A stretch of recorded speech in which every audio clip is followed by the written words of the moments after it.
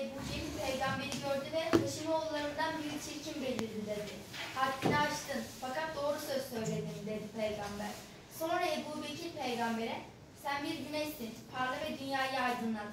Peygamber ona da doğru söyledin ey Ebu Bekir dedi.